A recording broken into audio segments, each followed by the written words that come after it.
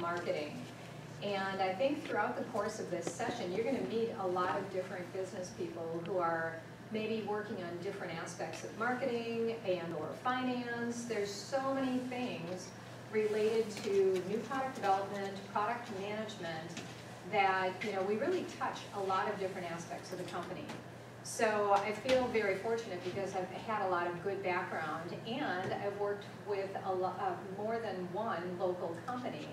Um, I've been a product manager at Rockline Industries, um, and they do consumer goods, Bemis Manufacturing, primarily toilet seats, although I worked in other areas of their business as well.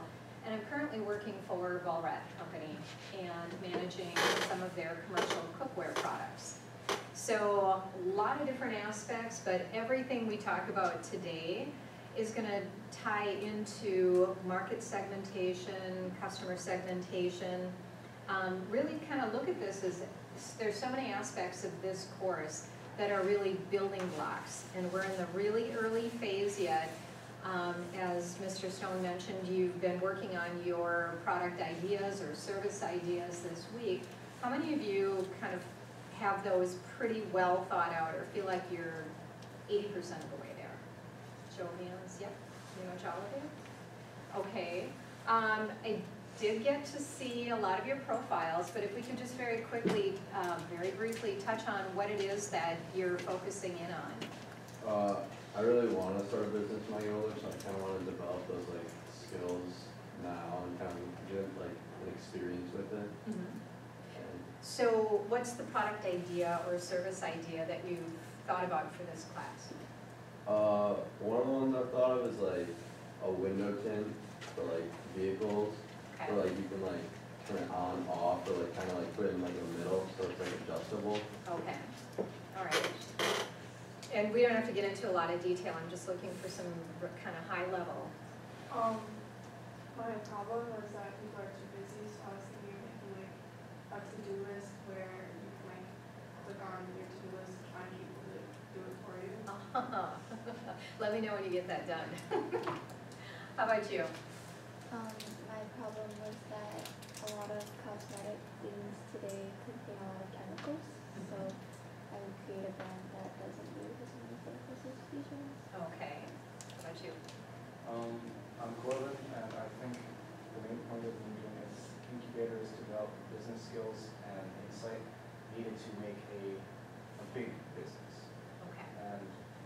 I have a lot of ideas right now, I'm gonna take the time to narrow it down over the weekend, but a lot of them are based around how to make a proper leadership system to make a big corporation work. And then the overarching, like, what they actually sell. It's dependent, of course, and of course it would have like proper marketing, proper actual usage. But I'm more focused on how to make that kind of business actually work okay. in the long term. All right, well, hopefully today will give you some better ideas on how to fine tune your actual project for this um, semester. It's actually the whole year, right? Yes. Okay, how about you?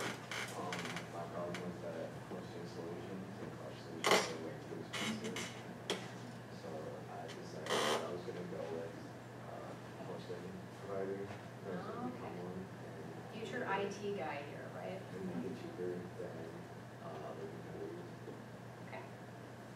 I'm Tyler, um, I'm on the same boat as Courtney actually. I've got a bunch of ideas, but nothing's really concrete yet. Um, One, I've dissected a few, one of them I dissected was that people just spend too much time on their phones. And they're consuming and not actually thinking creatively and learning about things, so. Okay. How about you? Um, I'm Nick, I've got a couple ideas I definitely wanna look at more, but my more developed one is the, um, the unavailability of parts and literature for older eighties and nineties phones. Saw your video. Very interesting. My son is very much into cars and stuff like that. Yeah, Okay, how about you? Um, my name is Manuel. Um, saving more time when cleaning like a cosmetic pro- product because they could do so much things during cleaning. And, uh, I, my problem was that there's a lack of variety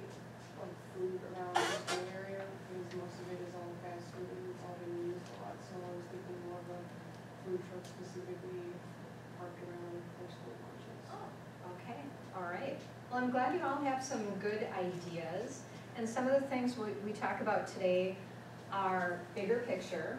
And, um, I'll warn you, sometimes, um, in business, we have jargon, new words, new concepts that you may not be familiar with. So if at any time you're, you're curious, or I use a term that you're not familiar with, and you're like, what, what is that?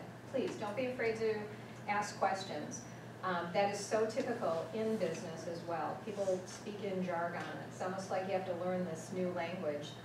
Also, continue to think about this like building blocks. And, you know, we're gonna talk about a few different things today. Next week, we get into a little bit more. But all during the course of this, um, you're gonna be starting to connect some dots. And by the time you get further into it, you'll start to see how all of this totally ties together into like a business plan and a business proposition.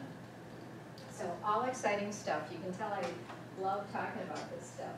Um, today we're gonna focus on customer segmentation. Next week, we'll talk a little bit more about customer personas. We'll spend day three maybe reviewing a little bit more about your specific customer personas, and we'll also talk about market scalability and size, all of which will tie into future concepts when you get into your forecasting and, um, uh, pricing strategies and that type of thing. So, uh, again, connecting the dots, but all going forward. All right, so segmentation at the very highest level. Um, if you stop and think about it, everything has segments. So it's not just your customer segments. Starting at the real high level, we talk about industry segments. So all businesses are generally affiliated with other industry segments and they're doing like things. A good example would be the automotive industry. But when you think about the automotive industry, you can now start to funnel that down. There are market segments within the automotive industry. Um, a good example might be commercial trucks and vans versus big diesel semis versus consumer products.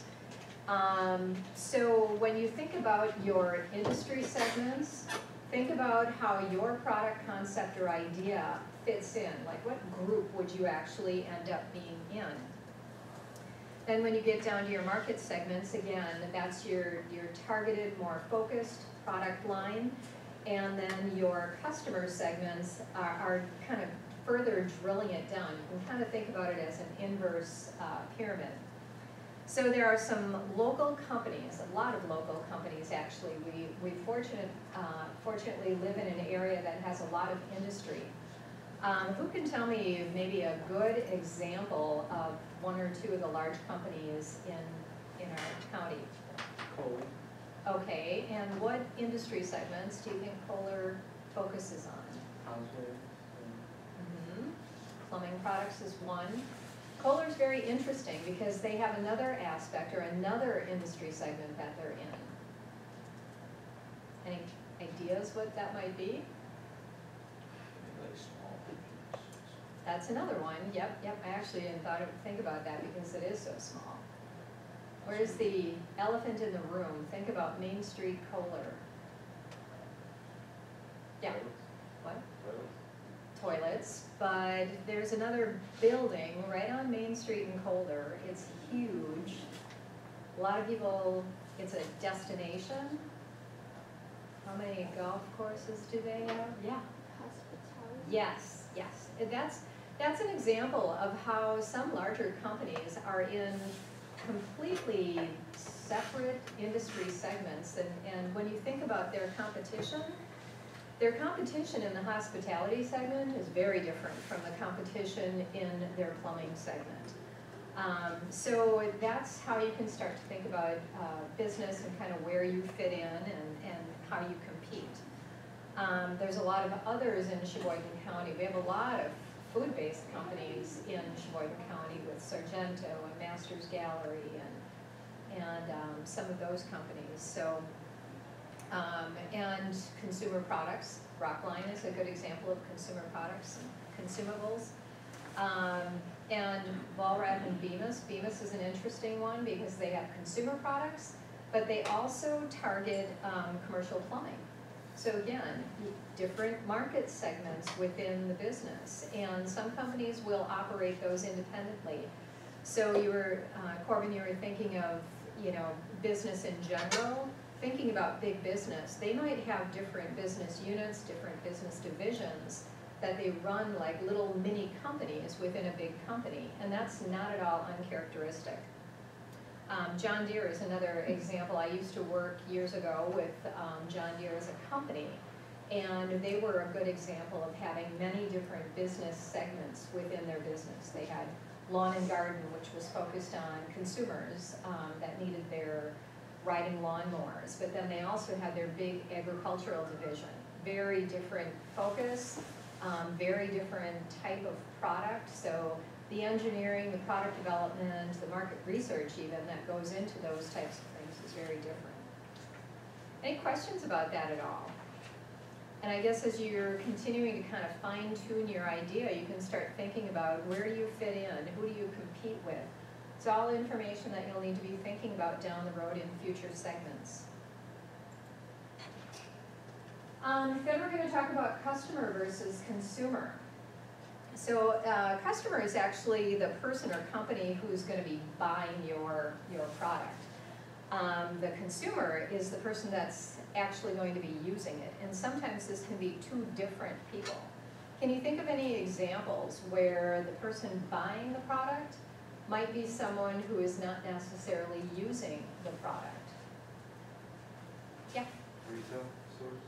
retail stores, that's a very good example, and I'm surprised you picked up on that one, because that's, um, when you think about how you have to pitch your product, you pitch it differently to the buyer of that retail store than you might when you're promoting the actual product in the store.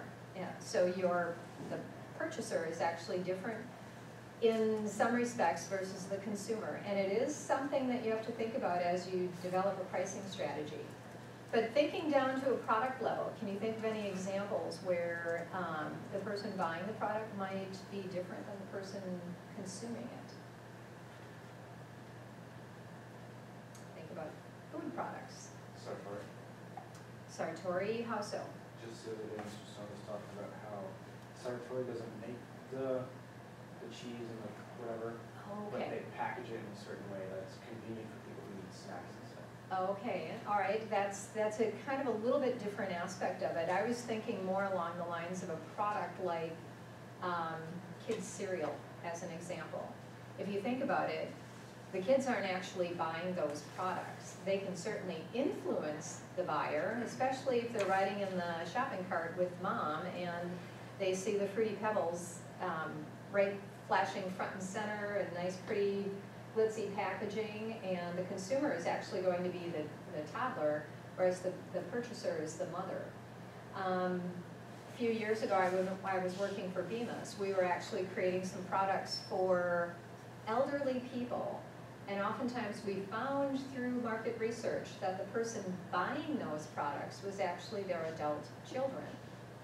And very different mindset when, from a pricing strategy. In the kid's mind, it was like, this is my mom and dad that, that need this product. I want the best for them. So in their eyes, money was no, no object. Um, whereas the, if you were marketing to the actual elderly person, regardless of their income, they could be very well off. They tended to be more frugal in their mindset. And they feel like, well, I can't buy that, it's too expensive kind of thing. So again, consumer versus user is sometimes very different. You have to think about that with your product and how you're actually going to market your product.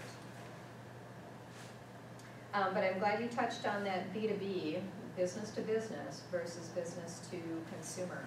And nowadays, um, with how products are being marketed and where you can sell them, there's so much online selling. Now, the overhead is very different if you're selling direct to consumer, but you also have to think about your shipping costs and, and some of the labor involved in some of that as well. So different things to keep in mind as you um, develop your product and your idea.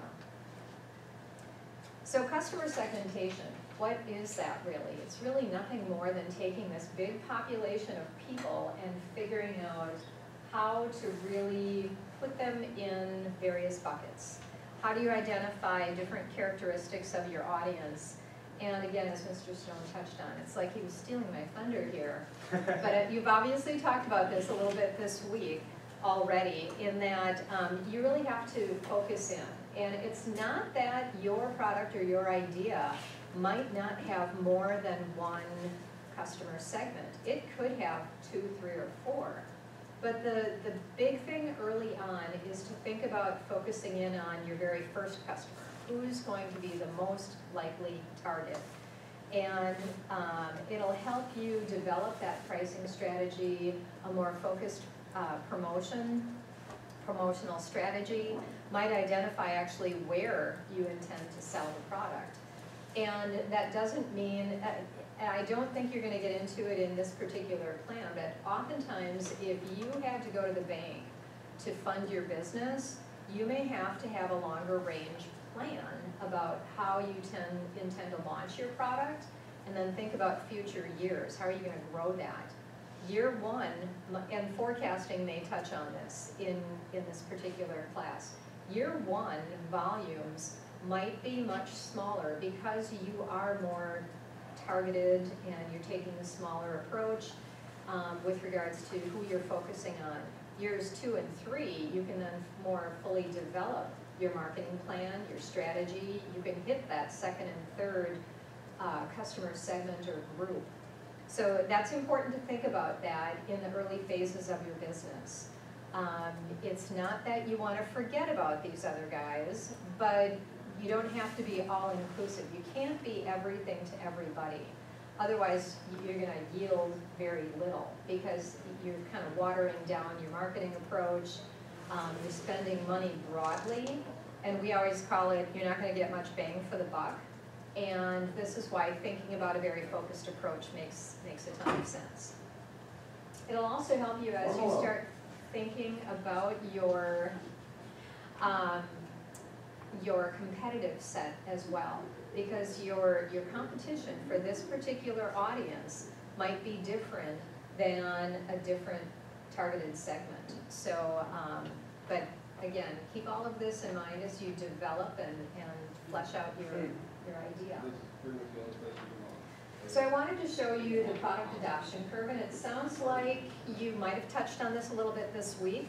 But this is a, I love this because it's a, an easy visual, and to me, this always ties right back to some of the future discussion when we talk about market size. Um, think about where your product fits in the market. A couple of you had some ideas on things that maybe have never been done before. That's gonna be new innovation, and oftentimes you're gonna end up in that new innovation section you got the early adopters out in the blue out here. So think about that with your targeted scope and your market size. It's gonna be, it's gonna look very different um, because it is so new. A lot of times you have to factor in the educational process, like how am I gonna teach people about what this is? Has to be easy to explain. Um, one of the terms that I used to work with someone, she was a, an industrial designer and she was hired for, at Bemis, and I worked with her years ago, and she drove me crazy because she really wasn't a marketing person, but she had this knack of always asking me why. Well, why is that? Why is that? She sounded like a five-year-old, it drove me crazy. But when all was said and done, the more I had to explain the why, the more logical it was. And eventually, if I couldn't explain it all that well, to me, it kind of meant that, well, maybe this wasn't real clear or concise.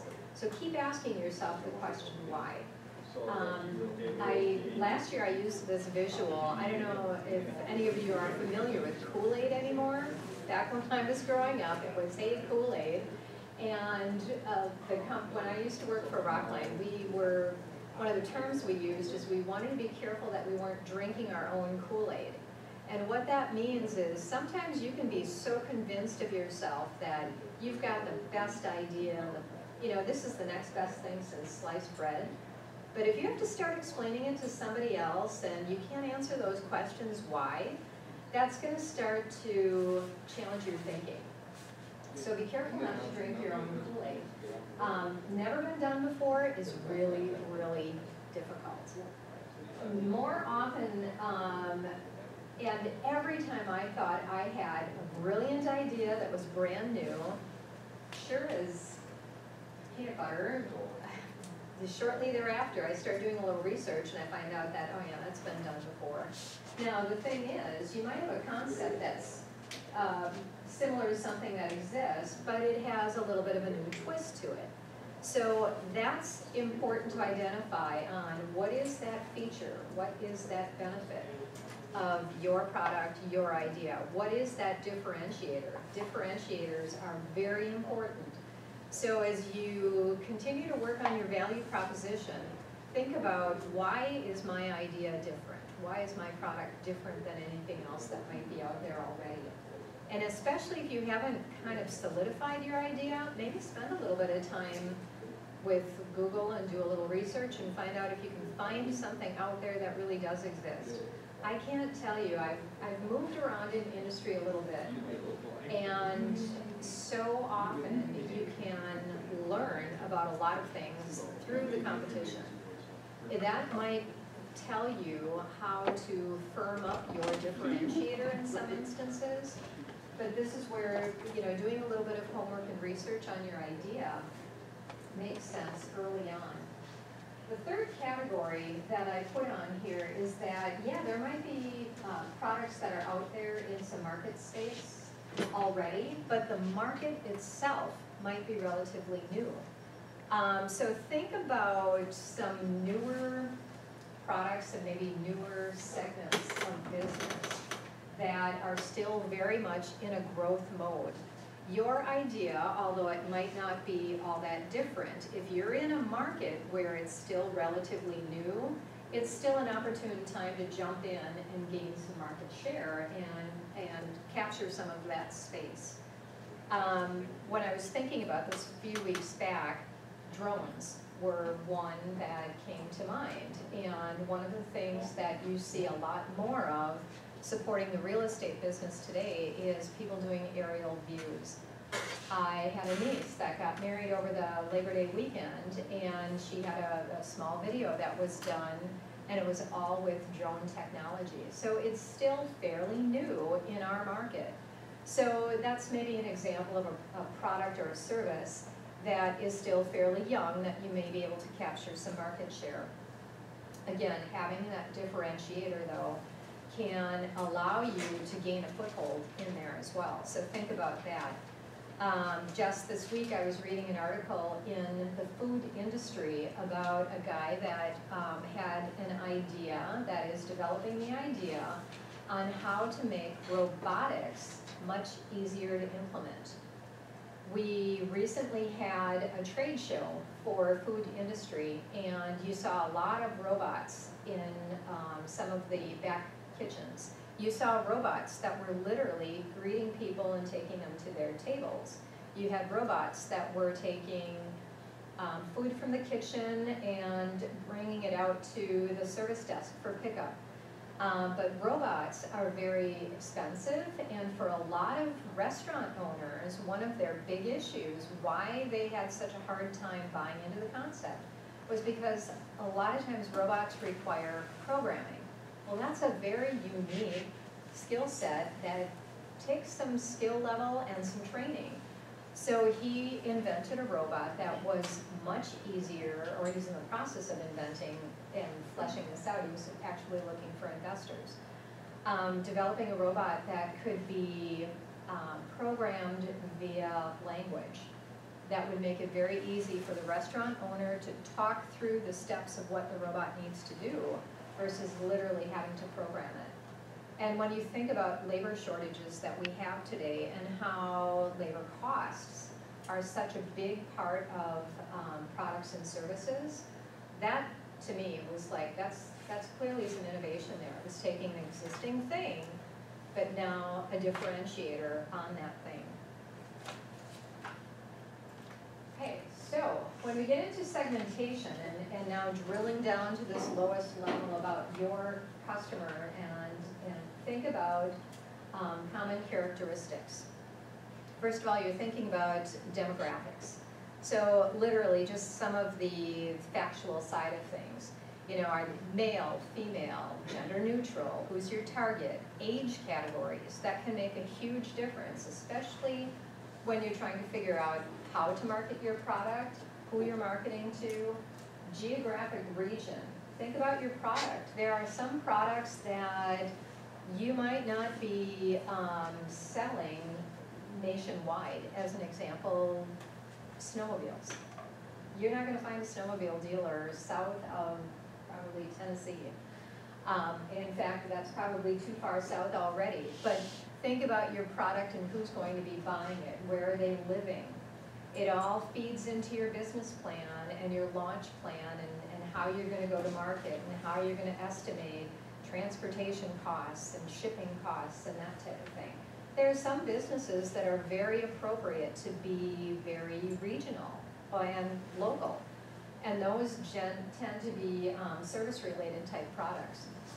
So think about that, and, um, other things are those psychographic or behavioral things. And what we mean by that is you, you're starting to identify, um, what gets people excited. A lot of times you think about what are, what do they do for fun?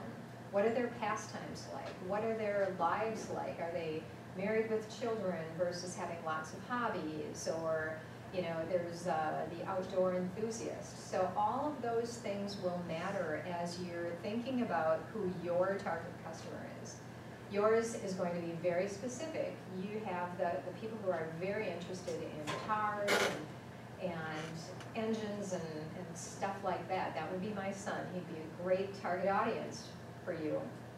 But that's, that would have absolutely zero appeal to me. But that's what, um, that's what makes business a lot of fun, is you're not trying to be everything to everybody, and you focus in on your market and your key segment. And the more you understand about them, the easier it's going to become to think about how to sell to them. So the next few slides, I think, are gonna go through some examples. And who do you think this uh, demographic is targeting in this ad? Can you give me maybe an age category? Yeah, Mm, Age, no, age, well, who do you think they're targeting here? students, Yep, yep, that was pretty key in there. Um, what do you, so, um, they're, they're being very specific when they literally on their ad are talking about a student discount. So, Yep. I mean, probably women, because I've never shopped at H and M. neither have I. I think they do have, um, clothing for guys too, if I'm not mistaken. Um, but it, it does tend to be the younger audience. So if you wanted to guesstimate at an age range, who do you think shops there? teens,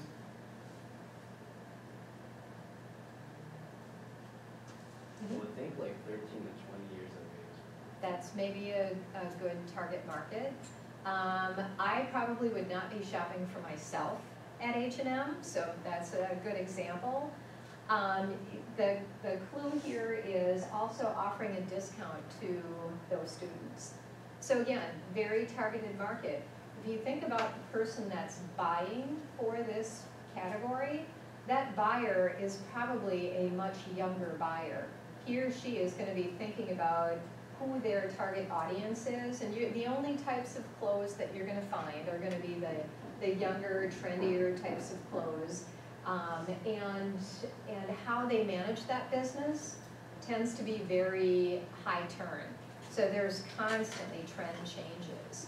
So that type of a market is gonna be very different than a stable product, um, that doesn't change very often typical product life cycles, um, depending on the product category that you're in. I was totally shocked when I went to work for Vollrath to find out that their product life cycle is well over ten years.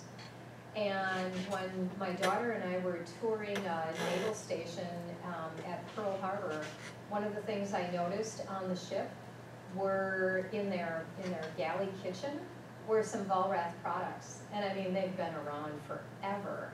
Uh, when I was looking for some prints of a specific product, I found a print from nineteen fifty-four. Believe it or not, that was before I was born, and I couldn't believe the product still existed. So product turnover in some industries is very, very long life cycle. Whereas anything that's fashion or clothing related, you're talking less than a year. Um, other products, product life cycles might be three to five years, one to two years if you're talking electronics. Um, just think about, you know, every year Apple comes out with a new iPhone. And I've got a thirteen, and the day before they launched the Apple fourteen, the iPhone fourteen, I was getting pinged by a company that rebuys and sells used electronics. And it was like, hurry up and sell your product so that you'll get the most money for it. And I'm like, why would I even think about upgrading my phone when there's so little that's different? And yet, market research that was done within days, and, and we're talking, this has all been in the last, what, two weeks? Market research that was done said, um, it was like thirty-seven percent of the population said they would go into debt to purchase the latest and greatest equipment. I was shocked by that number. But, um, those are just, I guess this is the type of thing that a marketing and product management junkie just kind of gets into. The, that is the one thing I will tell you, is as you think about product and product development specifically, um, since I've been in marketing, I feel like everything I look at and every time I walk into a store, I'm thinking about things very differently because I'm not just the consumer. I'm also the person that understands some of the science behind why they do things the way they do it and what they might be trying to target. All right, so what about McDonald's? How do you think they're segmenting geographically? There is a video clip that's, that's linked here. Um, but just this image here, where do you think these products are being sold? Have you ever walked into your local McDonald's and, and seen this on the food Not menu? here. Not here, no. Um, so we're gonna take a few minutes just to watch this video clip, if it works. Is McDonald's worldwide? I they're in like, Yeah. like, Yes. like actually like every country has McDonald's. Um, sure did you do anything different, Mr. Stone, to get the video to go? To use the browser? To be black. Oh, maybe. It's probably not very in the different. world, it does So it for. seafood actually is rice. It wasn't like seafood stuff, yeah. Yeah, McDonald's. The portion size is a lot different too. Yeah. Like in the UK, Have you seen the guy who's like, he compares, um, the UK to the United States Their, fast food yeah, chains? their large soda is like, is barely bigger than our small. Yeah. Our large is like twice the size of the medium. So McDonald's, hundred and eighteen countries and about thirty-six thousand locations. I was blown away by that. And, uh, now, when I looked at some of those countries, like literally, I had never heard of some of these, but then in fine print, I was looking at some of the detail behind it, and they're actually territories of France, as an example. They include a lot of these little islands that might be off the coast, but they categorize them as a, a country. But I found it very interesting, and my daughter loves to travel. I was just in Italy with her not that long ago. Uh, McDonald's is probably the last restaurant that I'm gonna wanna visit if I'm traveling internationally, but one of her friends, when they went to France, insisted that they had to go to a McDonald's because her friend was very much into it, but yes, um, notice the same thing, you know, the menu is very different, the, the, uh, the items, the sizes. Um, again, they're marketing specifically to their, their target audience. Um, I've heard of instances where I think this was, it might have been Coca-Cola. You have to think about name translations and interpretation when you go to other countries.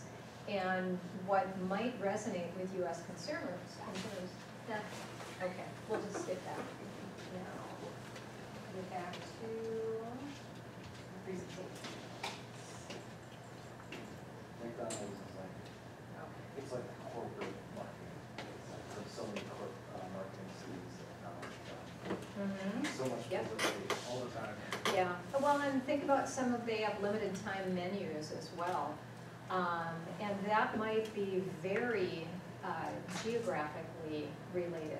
You know, things that appeal to southerners and east coast. East coast people eat something called grits. I have never heard of, I don't, have you ever, any of you ever tried grits or heard of them? What is it? I, it, it sounded to, oh no, Scrapple, that's the one, not grits. Grits is more southern, Scrapple is east coast. And it sounded to me like it was everything that might have been on the grill or in the pan in the kitchen, just kind of thrown together for We're going back to school. Before you submit your essays, Welcome Janet to- Kimberly Welcome to school Wi-Fi. Oh, okay, Did finally, yeah, It's, it looks like it's finally starting to spin, okay. but of course, very, very, very, very slowly. We'll just, okay, see what's there. Okay, I, I hate McDonald's because I don't like their food and I think it's really bad to market at such high scale, but I do admire their marketing. well, yeah, yeah, you can't take that away from them, that's for sure. So would you say like their limited time McRib, would that be catered towards, um, um, with- like certain states like Wisconsin, do you? There's, you tend to see a lot of barbecue and ribs in particular, um, Midwest, kind of in the southeast, and there's, there's different regions even have different types of barbecue. North Carolina, for example, very different from Tennessee, very different from Kansas City.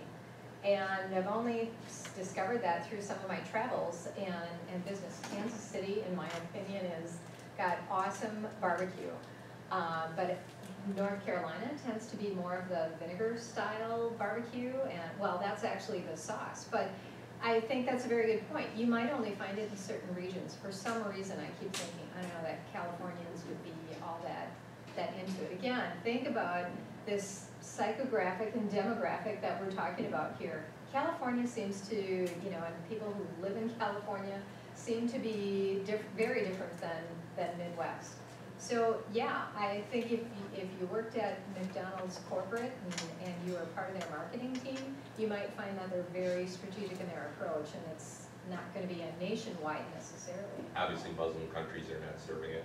But I also Um, can tell you, I can also tell you, part of the reason why they do it in limited run is because the price of pork is more, more than beef typically. Mhm. And so they wait till pork prices drop and then all of a sudden they release the McRib and when then pork Yep. prices start to go back up, then it goes away. Yeah. Those guys. I, yeah, well, and this is the skepticism, what, from a marketing perspective. Um, one of the things that we've been experiencing in the last year and a half, that's a really big deal, but it definitely influenced promotional opportunities, was the supply chain issues. Literally, sometimes you needed to be planning for what, what's going to be available to make, and that's what you're limited to being able to promote. But it could also very well be tied to pricing of the raw materials at a specific time um, as well. So all things that come into play as you develop marketing strategies. So what is the, who's the psychographic here, the segmentation that we're targeting in this particular email or uh, info, um, info piece? Some of the things that kind of jump out at you? Um, pro-planetarian, I think is the word. Mhm. Yep, yep. Those that are environmentally conscious, those that are worried about the environment, um, packaging, waste, sourcing responsibly. There's, you know, there's a thing called total cost, and there are a lot of consumers that are concerned about greenhouse gas emissions. And um, when I was at Rockline Industries, they actually put out an annual report that talks about their whole sustainability initiative. And it's not just, a- and we literally did map this out when I worked for them. We looked at what was the total cost and the total environmental impact of a baby wipe. Big, um, baby wipes are one of their big volume products, and when you think about the user, young moms wiping the butts and the baby, off the baby, and it's, you know, those are disposable items. Um, what's the total impact on our world? It depends upon the, the types of fibers that, that are in those materials, the chemicals that go into them. So your product is focused on, um, not using, um, uh, chemicals that are harmful to the environment. There's the, uh, cost of energy to make those raw materials, and a lot of those raw materials are made in the United States. Um, some as close as Appleton, Wisconsin, others as, um, the the, uh, North Carolina region is a hot spot for a lot of manufacturing. There are other manufacturers that are down south, but thinking about the transportation of those raw materials, there are literally ways to calculate the total greenhouse gas emission on a package of product. And um, there are customers, Walmart, who- is a big customer of Rockline, and they sell a ton of private label wipes, they're called Parents' Choice. Um, They were very interested in understanding the total greenhouse gas emissions. Now, our market research showed that parents, it, it kind of went in streaks. Parents are willing to pay more for a product if it's better for the environment within reason. Some of the more recent research, as we live in these inflationary times, you start to see that trade-off happening again because they have less dollars to be purchasing some of those things.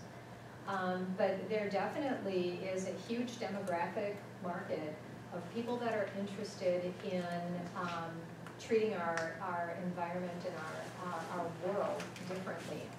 Um, when my daughter and I were in Germany a few years ago, there were a lot of protests going on because of consumers that were upset with their government because they felt they weren't doing enough for the environment. You hear a lot of that going on in the US right now as well. And when you look at the impact, um, those are very real things. The next example here, um, gift cards. The targeted audience is who, and what type of um, behavior does this segment maybe represents? What are some examples of when this is, when you might be thinking about use of these? Mhm. Uh, Christmas and birthdays, birthdays are generally. What type of consumer um, or user might be a good user of these types of products? Sorry. Nope. Yeah, children or like parents buying like groceries for children. You can see that clearly by some of the images that they use on these specific gift cards. Um, When I look at the audience that I'm talking to today, I remember when my kids were about your age, that was like the perfect target audience because they're living in a very fast-paced, changing world. It was very hard to understand what they might be interested in. So gas cards, food cards, gift cards for specific stores that they might be interested in shopping in were always perfect and are still very popular for uh, younger couples getting married. Um, and it's because sometimes it's very hard to understand what's appealing to that specific individual. So we'll take the easy way out and we'll just buy a gift card and allow them to purchase whatever they want. But again, how they market a lot of those gift cards, where do you find um, some of these gift cards? Mm-hmm. Oftentimes for retailers that, I've noticed there are some retailers that aren't even in our local region. But again, think about the consumer, the customer and who they might be buying for. Um, it could be a college student that you're sending them a care package and you know that they've got an Olive Garden in their particular city, so you buy them the Olive Garden or the Darden gift card that they can use um, when they're at school. So it's, it's perfect in that instance. So we only have, I think, about eight or nine minutes left. We're gonna talk a little bit about um, Starbucks and kind of maybe do this as a little bit more of an interactive. Um, Do they have the worksheet for, okay, It's in there. Last Okay. page. Um, So I don't know if you've got that information available. But let's talk a little bit about Starbucks and some of their potential um, target markets. Who do you think they are, they might be targeting with some of their products? First of all, can you tell me uh, what kind of product categories do they have? Uh, coffee and food, predominantly, and other food. Some of their latest ventures, and this has probably been several years now already, are some of the things beyond coffee and some of their mixed fruity type uh, drinks that, that might be targeted for people who are drinking when? Not necessarily in the morning. I'm sorry, you had something you were gonna add? Kind of morphed into that idea, yeah. I don't know too much about Starbucks. Um, I've been there literally only one time Mhm. where I ordered something and I got tea, so they have tea. That's all I was gonna say. Okay. Um, so who do you think they're targeting though? Think about their demographics, they, age categories. Probably a young, probably a younger audience, like teenagers to like young adults. Um, what type of income do you think they might have? Um, my opinion, I think that depends, I know some people might just get Starbucks because it's trendy regardless of income. Um, but I'd say usually like thirteen to eighteen, or more. There could also, eh, actually, I think it might go a little bit beyond that. Um, one of the target consumers, and you see this a lot in larger cities, where you'll see a Starbucks within a building. There are, and there's a lot of Starbucks within a retailer as well. Um, in larger cities, and some of my travels, one of the things that I've seen is that there tends to be this younger, um, seems like everybody's younger than me, but the younger business person um, that always seems to have that Starbucks cup in their hand. And now I've got a daughter who's at that age, and she still would much prefer her Starbucks coffee. And yet, a consumer like myself, I'm like, oh, I'll tend to stick to the more traditional, just, I'll just have a coffee. And their coffee is just, in my opinion, not that great. I think Dunkin' Donuts has better coffee. Um, but then when you think about a lot of their drinks, what do they specialize in? Not really like sugary and fatty and unhealthy drinks. Um, Yeah, They don't have to be, but in many instances, you'll find that it's customization. And it's the customer experience. Um, you know, you order your special coffee or latte with a specific type of milk in it, and there's the soy milk, the almond milk, the coconut milk, the oat milk, um, everything but milk these days is they're putting into these drinks. Um, so there are, there can be healthier options, um, but then, you know, we talked a little bit earlier about some of the, um, fruitier drinks or some of the mixers, and it's the people who maybe aren't the coffee drinkers, but still wanna go there.